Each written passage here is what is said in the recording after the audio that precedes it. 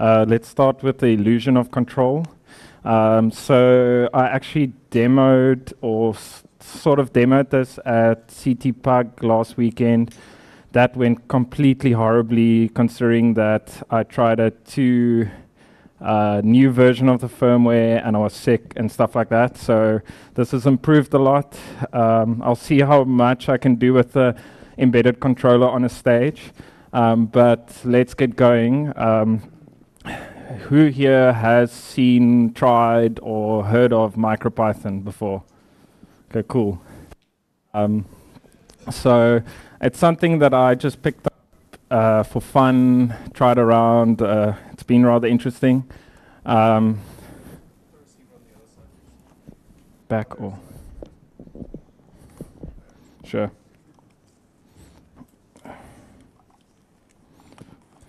Um, so basically, uh, running Python on uh, microcontrollers or any constrained environment. Um, you know, running Python on a server or even your computer is relatively easy, or even on a, uh, a Raspberry Pi, but uh, think even smaller than that. Um, just quick on me, uh, I work at Vast Solutions, hence the shirt, uh, and the other colleagues. And so this talk is not at all related to what I do. Um, and then otherwise, uh, I help run OWASP Cape Town. Every other now and then we do a talk. So if you're keen to do anything around security, let us know. Um, so that's the general outline. It might have changed as I've added slides, but uh, I'll run you through MicroPython, the idea, uh, how it all comes together, the hardware API, which is essentially the core of it, um, MicroPython versus normal Python and Arduino, uh, libraries. Uh, there's a MicroPython web framework as well. Um, and then uh, building MicroPython, I'll talk about it quickly because it's slightly boring. And then move on to some uh, use cases for it.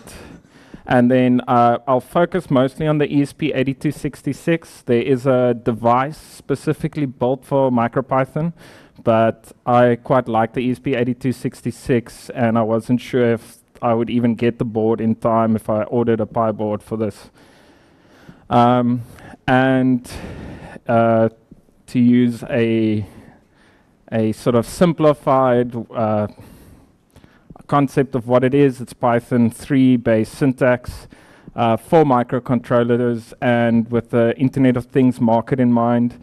Uh, most people going into the Internet of Things might not be uh, embedded uh, developers, so they might not have a good understanding of C or Lua or anything else that is um, in that space. Um, so uh, why MicroPython? Before we even go into uh, what it is, why would you even use it?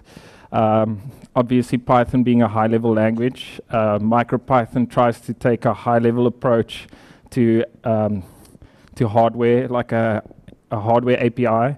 Uh, it's got a nice open source community going. If there's a device that you'd like to link up, uh, I linked up a device that a friend of mine had uh, last, well, this week found a library for it that someone already had written. So I literally just had to interface with the library, didn't have to write any code to do it.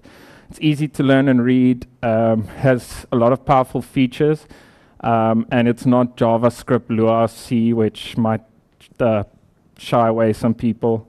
Um, and why not normal Python? Why not PyPy? So uh, if I look at the ESP8266 device uh, here that I'll show you later as well, it has a really low amount of RAM and ROM. So normal Python would fill up, uh, even a string or an object in Python would probably uh, take up all the resources on the, the little machine and, you know, what can you do after that? Um, most microcontrollers need uh, optimized code. Um, and then uh, especially CPython, a lot of libraries try and cache everything into the RAM uh, off disk to speed it up. That would kill the device. Um, and you can read up on more of the differences if you feel like it. Um, some of the other differences is uh, it's got a its own garbage collector versus the normal reference counting. Um, classes and objects are not 100% implemented like uh, CPython 3. So this is where I have to stress that MicroPython isn't Python, it's an implementation based on CPython 3. So it's familiar, but you will find differences if you uh, go through the process. Um, and we finally get to what is MicroPython. Uh, MicroPython was a Kickstarter project initially uh, around what they called the PyBoard. Um, they actually successfully funded the campaign. And compared to normal hardware projects in Kickstarter, where they just push for getting the hardware out, they actually set goals for libraries, for functions, for different devices, not just their own device. So the more funding they got, the more features you got with MicroPython, up to the point where eventually uh, the project was fully funded they continued with the development, and other people started picking up with different devices and adding their own things onto it.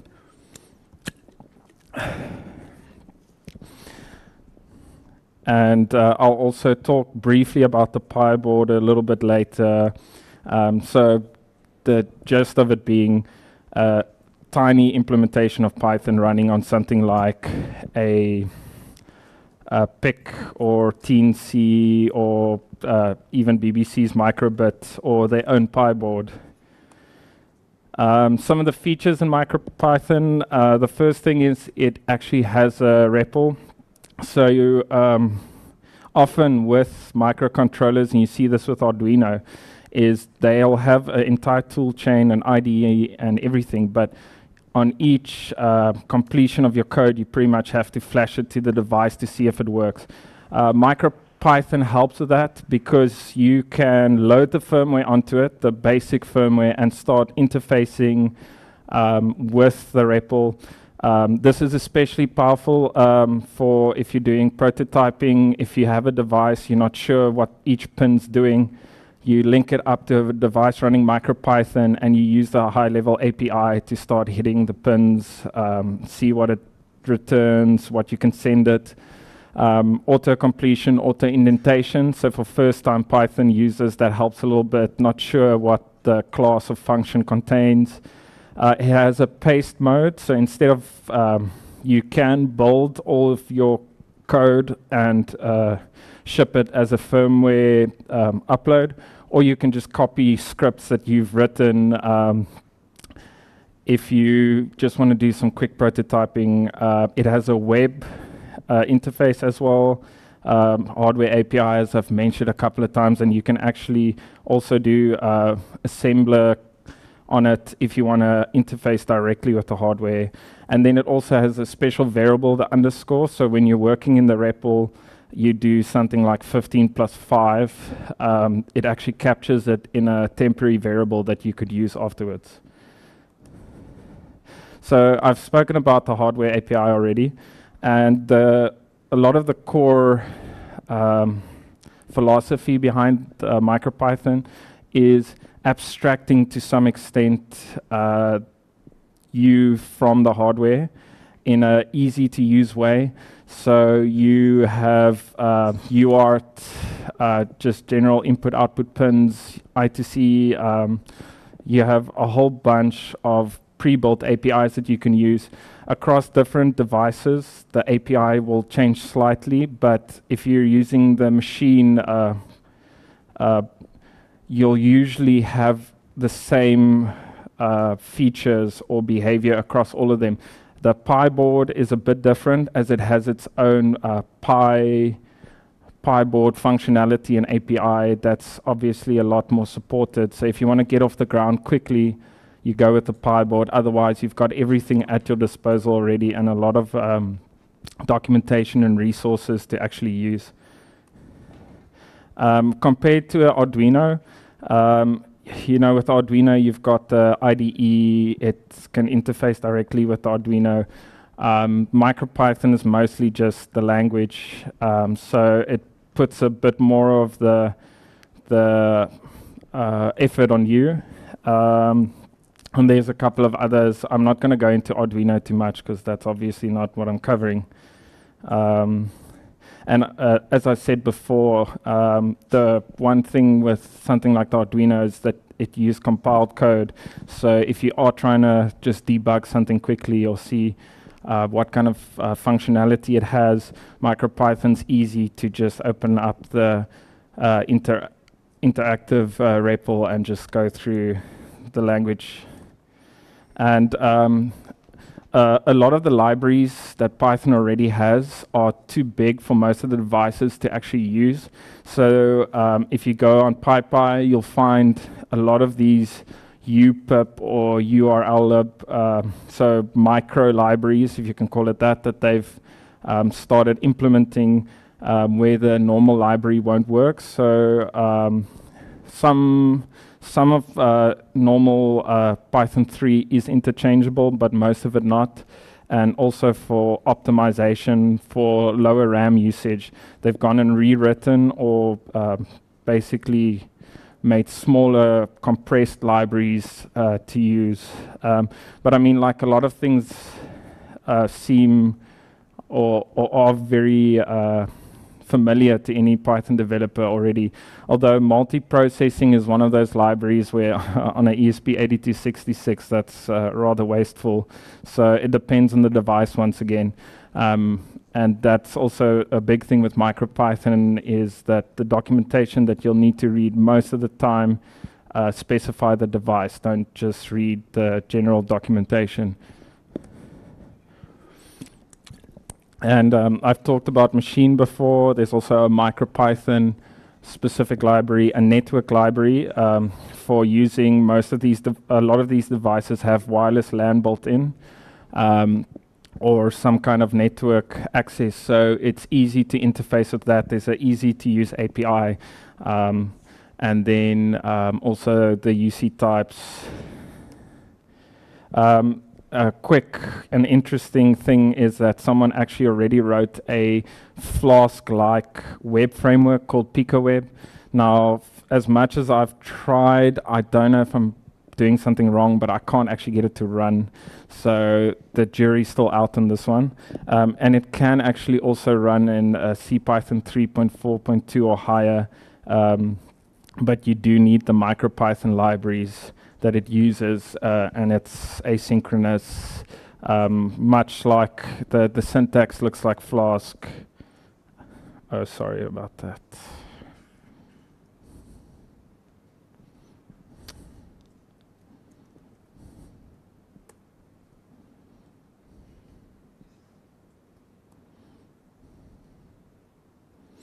So yeah, um, obviously the idea being close to Django or Flask or bottles so that you could adopt the existing um, Python developer mindset with this little framework. Um, for most of these devices, this is probably also overkill, um, as you can just write your own little uh, web server and just uh, serve static content. But if you feel like templating uh, and using JSON and a little more advanced features. This is where PicoWeb comes in, and um, I will one day get this to work. That is a challenge I'll have to set for myself. So MicroPython um, still isn't at a point where you can easily just get it off uh, apt-get or, or, or, something like that. Um, some people do, or, or MicroPython, the organization itself, will have certain builds for it that you can download. Um, some of them are often quite old. So generally the idea is to build it yourself, uh, clone the GitHub directory, uh, uh, GitHub page, and then um, with all the needed packages to build it yourself. Um, if you're doing it on a Unix-based system, you can easily get used to the language without having to flash to a device or using a device. Um, you will not have a lot of the microcontroller-based libraries like uh, network and stuff like that. So um, it depends on what you want to do with it. You could use normal Python on a Unix system if you have enough hardware. Um, and the builds go up quite high. I'm still trying to figure out if it's caching something. Um, but specifically, uh, where I talk about the 4.5 gigs, is not for the Unix or any of the other devices. It's specifically ESP8266 toolchain that's taking up all the space. And I'm still working on getting it working in Alpine Linux as well. Um, building it for um, for Unix is fairly easy. You install um, a couple of lib libraries and packages, and um, always good to just get all the submodules for it as well as it uses stuff like uh, I think it's Berkeley database and a couple of other things. Um, the AXTLS is an embedded uh, SSL library that it's dependent on, and then you make it, and it's uh, if I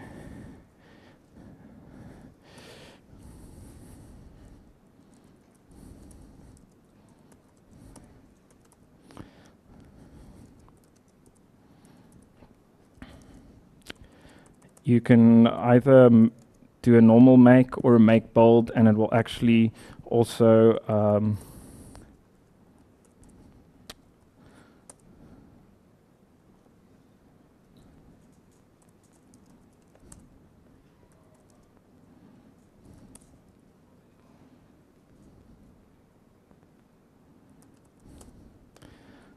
So if you do a normal make, it's just going to um, compile all of the C code. Uh, if you do a make uh, install, um, it'll actually also put uh, links to the executables in your user slash bin um, as MicroPython. And as I didn't actually mention before, they also have their own version of uh, pip called MicroPip. So once you've got it uh, built, you can just run it interactively. Um, as I've said, it has tab completion, um, and then, uh, for instance, you can use their uh, their own version of pip, much like you use the current version of pip without all the um, advanced functionality. They have worked virtual env into it as well, so you could um, get something like micro requests, um, and it's fairly simple to use.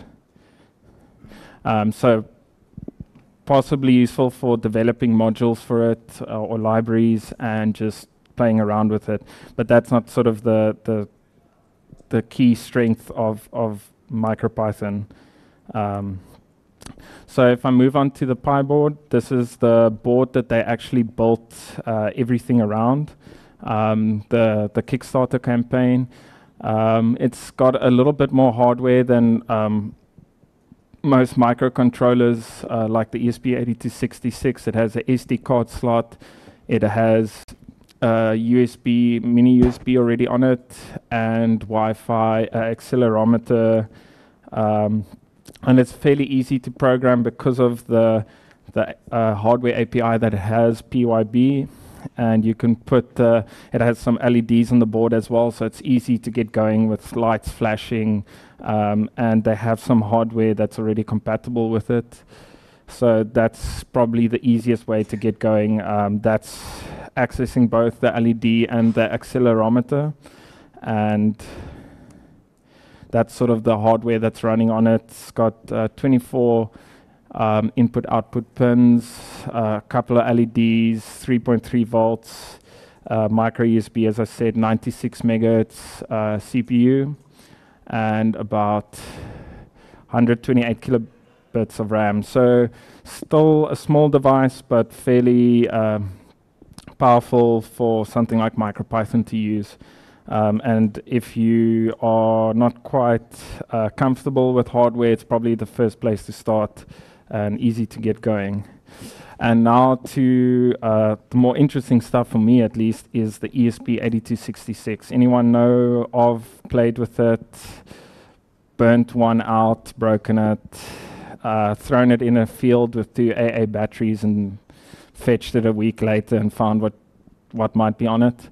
Um, so uh, if I, it, it's um, based um, on a uh, Chinese company's designed, I think they're called Espressif Systems.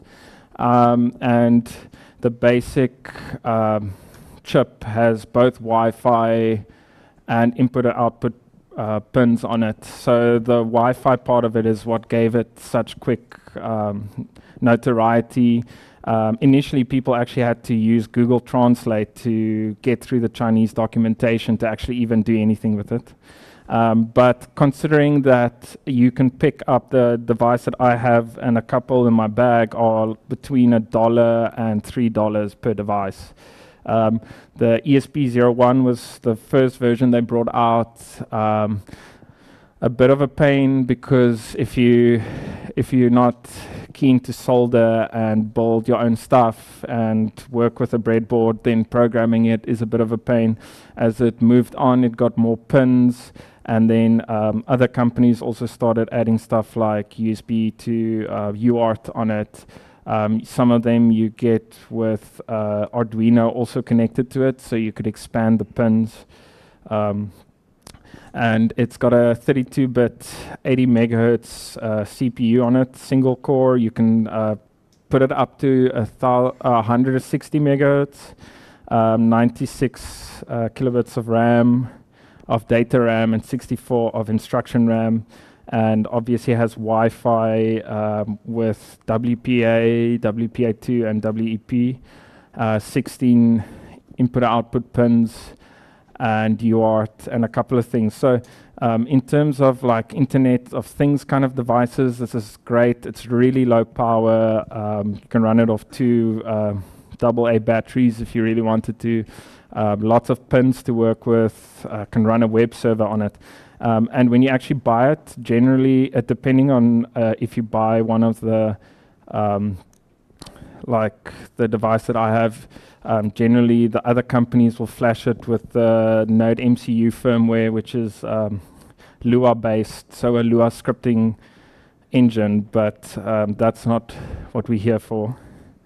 Um, so the device that I have is uh, based off this. It's a D1 Mini, and I've just used this as it sort of shows you uh, all the pins and stuff like that, which is really useful when you're actually trying to program these things. You have to bridge as much as there's a hardware API, you still have to bridge a little bit into the hardware world and just understand which pins you're actually going for, unless you actually want to put a wire on each pin and start uh, going crazy with LEDs. Um, and then um, as it says on the GitHub page, the ESP8266 uh, port is actually experimental, and they use a cross compiler and also um, a open source building tool chain to actually do it, which is a bit of a pain, but when you get it working, it's it's wonderful, um, and has a whole bunch of features which are uh, useful to us. Um,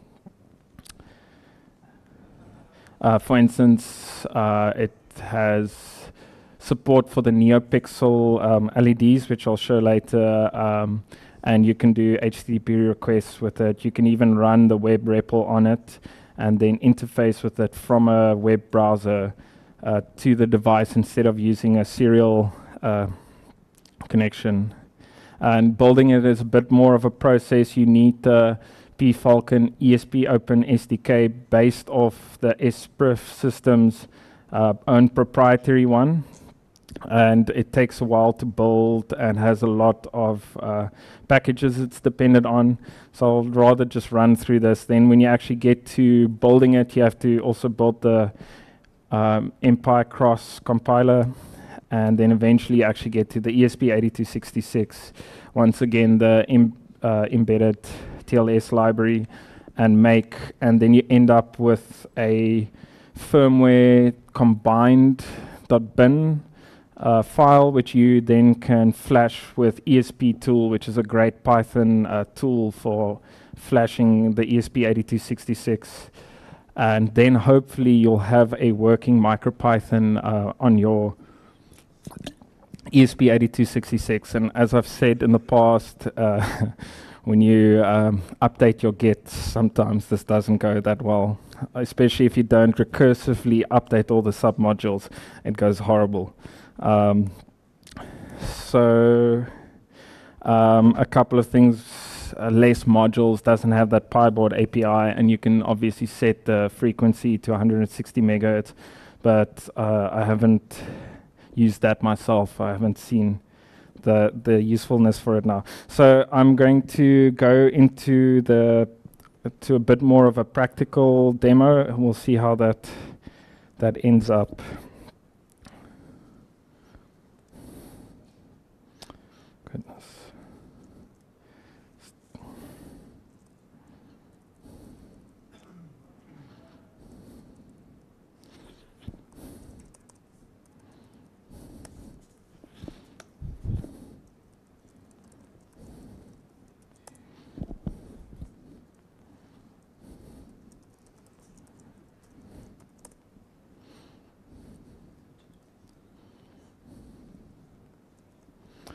Okay, so um, why it's saying that is I've got a web server running on it and I didn't control C it before I uh, did a soft reboot. So the address is already in use, so I'll have to actually uh, reset the device. But before we get there, this is the ESP8266. Um, it has its own um, bunch of uh, classes and functions that you can use and um, a lot of um, direct, uh, you can actually interface the memory yourself. Uh, another useful thing to note is that you can actually check the firmware from the device and compare it to after you flashed it, uh, which gets really useful. Um, if I do a quick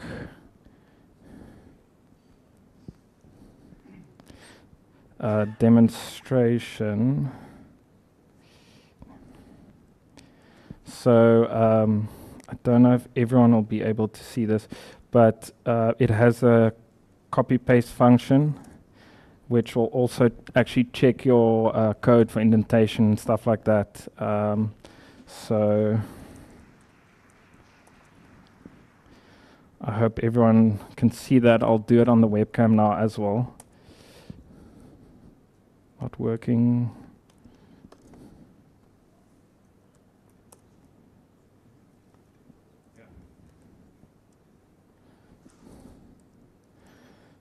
Of course, live demos are the best.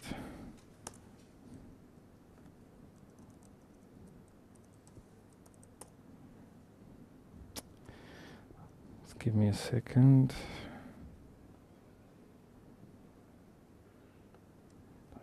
any of that.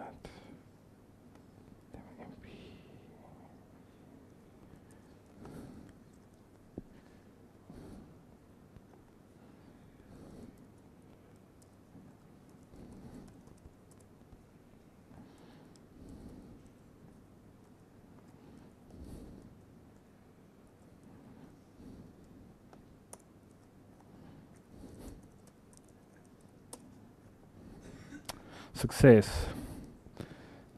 So um, what I've learned the hard way is often, especially with MicroPython, switching the device on and off again actually helps. Um, or, as I did five minutes before this talk, reflashing the device with the old firmware also helps if you've really screwed it up along the way. So onto a bit maybe of a more interesting demo see if this works as well. So um, in terms of actually programming it and using it, um,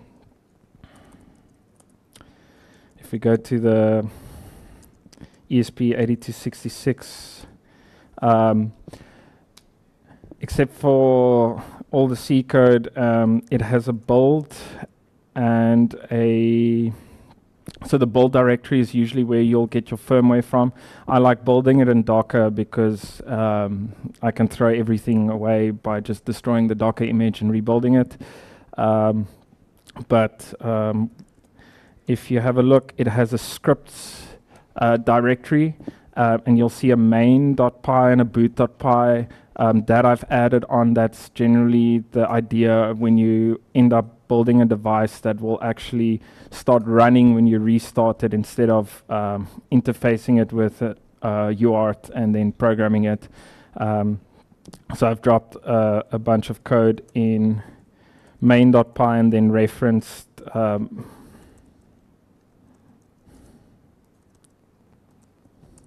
that in the um, boot.py. Um, also, if if that really doesn't run, um, you can actually go to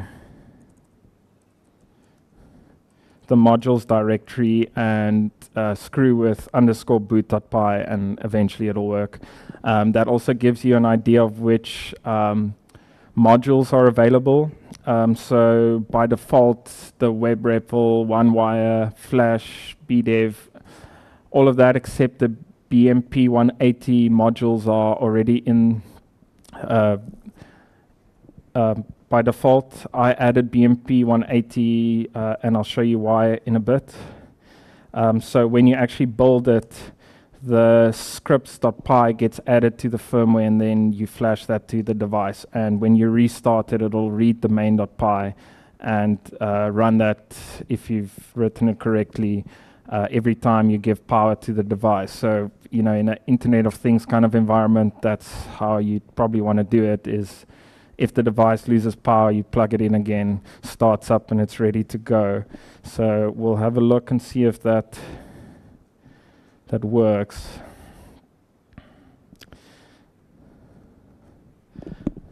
And I really hope that my colleagues don't remember what that um, password was.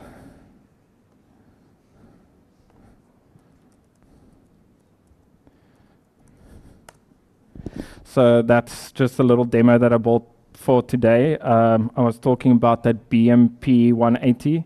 Um, and let's see if I can actually get it to show on the webcam.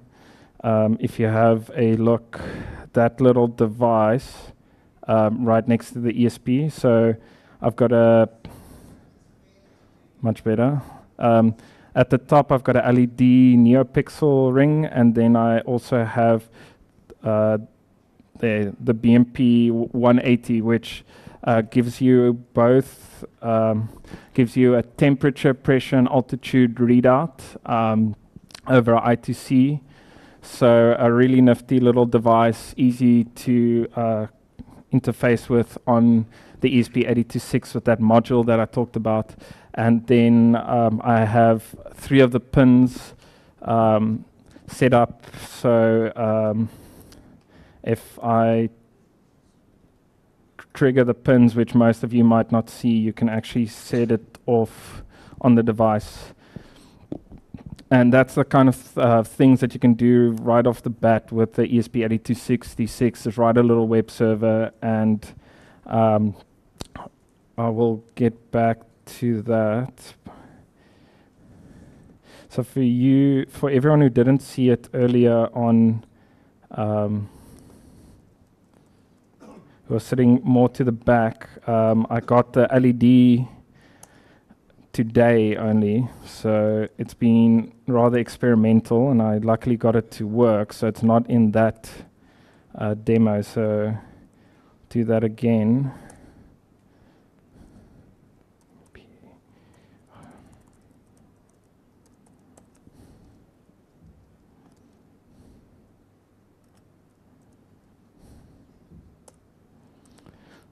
So if people in the back can't see, that's the kind of stuff that you can do with a short amount of code. Um, simply assign the pin uh, to the NeoPixel driver and then uh, give it a tuple of the colors. Um, and this has gone through a couple of loops uh, based on which LED it was um, and um, some timing. We actually changed the timing to work with the camera. So um, in terms of like being a Python developer, it's easy to understand the documentation and quickly write something like that. Um, this was the little web server, all very quick code that I wrote, so none of it's probably very good, but you know, it's 74 lines of um, Python. It's fairly easy to get a little web server going. Uh, one of the stranger things that I found that uh, with this specific device, and I, I suppose uh, depending on uh, which uh, dodgy Chinese website you use to order these from, beyond 80 lines, you can't actually copy and paste it into the REPL. It'll just give you uh, errors saying that you've made syntax mistakes or that uh, the keyboard interrupt is wrong or something like that. So um, obviously, like I've said earlier, that the ESP8266 build is experimental. Uh, most of MicroPython, I would be of the opinion, is experimental. So keep that in mind.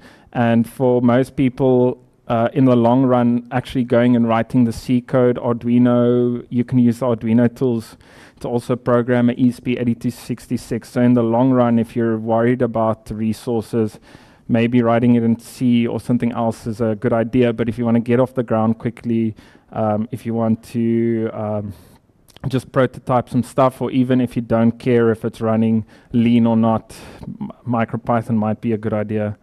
Um, I don't know how much time I've used. A little bit of time. Okay. Um, that's pretty much, I think, what I have to say. Um, I've put on a lot of resources.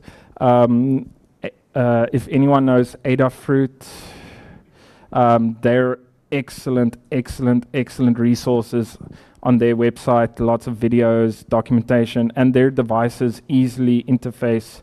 Um, so far from what I've found with the ESP8266 making it easy.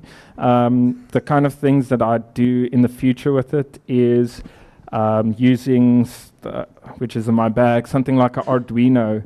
Um, you can communicate via UART to the Arduino and then run code to then further uh, break out, use the pins on the Arduino to do more hardware uh, where the ESP8266 has 12 pins and you might need more, then you could do something like that. Um, beyond MicroPython, if you go slightly more expensive in terms of devices, I mean, a Raspberry Pi runs Python.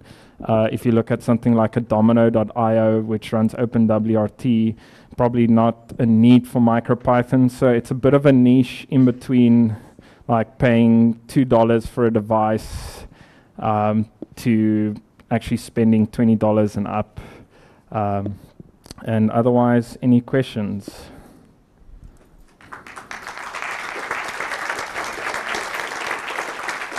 Oh, and I'll stick around if anyone actually wants to have a look or has crazy code that they want to run on it that I haven't thought of. Thanks very much, Christo. That was uh, very interesting. Um, I've got some Takealot vouchers for any questions. Um, I just had a look, and we should also speak to Takealot and ask them if they can stock some of the ESP8266s. Um, um, so on that, uh, the ESP8266 is available in South Africa. So off the top of my head, um, Communica sells it, um, but buying it off AliExpress is going to cost you 20 to 30 Rand. Buying it here is going to cost you 80. So it's that uh, wait four months, potentially get it stuck in customs or pay 80 Rand. So it's that kind of kind of thing. Maybe for the sensors, buy it overseas and have it shipped in. Uh, the ESPs, maybe buy it here. And specifically look for the D1, and then there's another one that I can't remember uh, what it's called um, SensePost recently did their bad USB talk based on one of the ESP8266 models. Okay.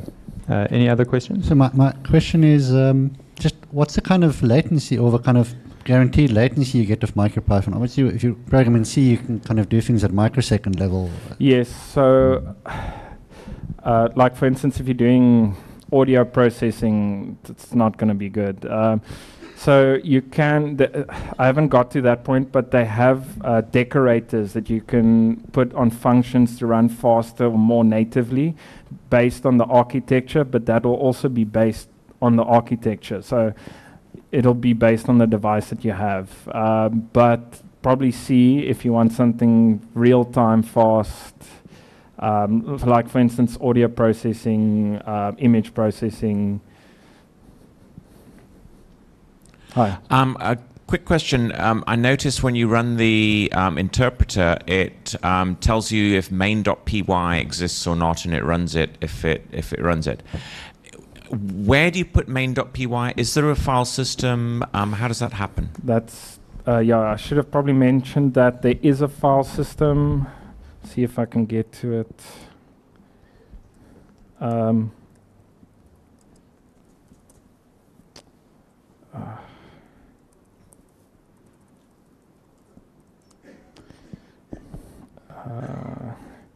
so there is a basic file system on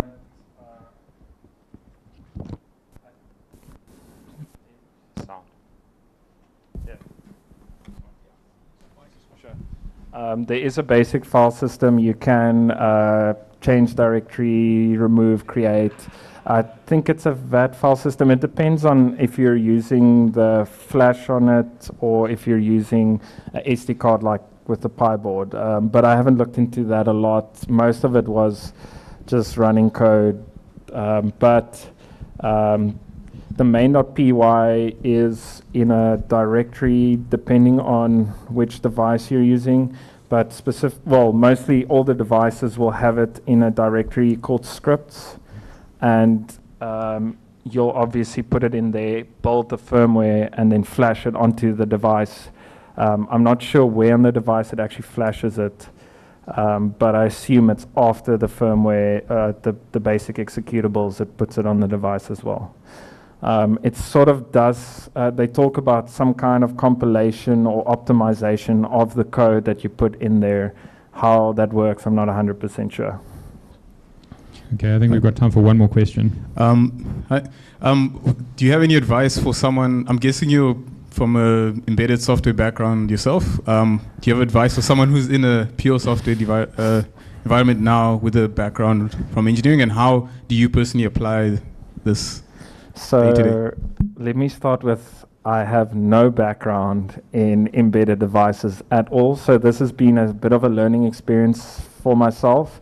Um, I have a little brother who's second year engineering, and he helps me understand some of what I'm doing.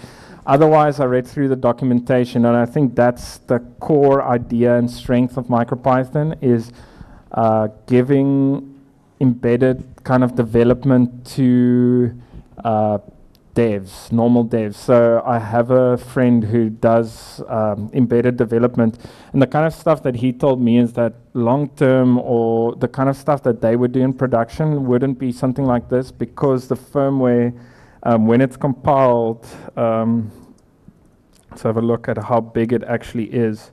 Um,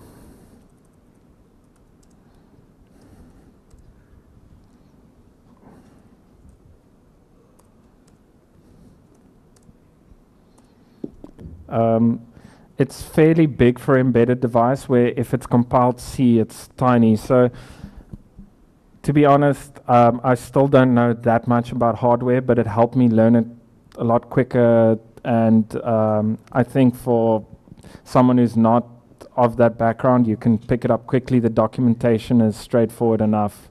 And the kinds of devices that the documentation are on are fairly straightforward. So um, the little pressure and temperature sensor gives you a digital output, so it's easy to work with. It's not like um, you know far out there, but uh, I'm sure you'll be able to pick it up quickly. The bolt system and stuff is a bit of a pain, but when you get there, it's it's a lot of fun. You you can quickly get going with like the LEDs. The LEDs I got two hours ago and it's working. So that, that should give you an idea. Um, is it a quick question? Okay, quick question because lunch is. Uh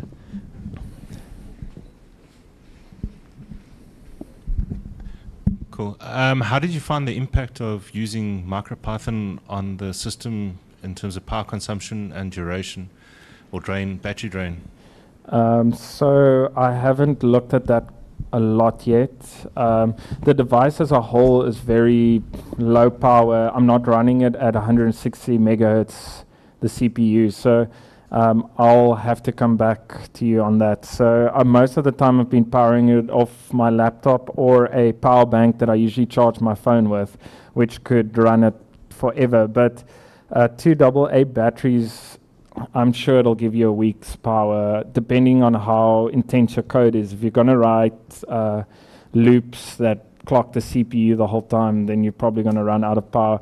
Uh, also consider the wireless LAN will also drain the power, and driving, uh, depending on the, the how you set up your um, your devices on it. Uh, but obviously, MicroPython is probably a bit more inefficient than running C or Arduino or something. So I'd assume that it would use probably one and a half times what Arduino would do, or, or something like that.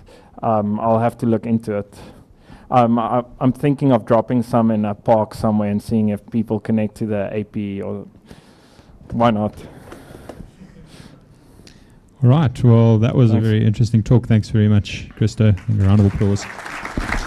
Yeah. Um,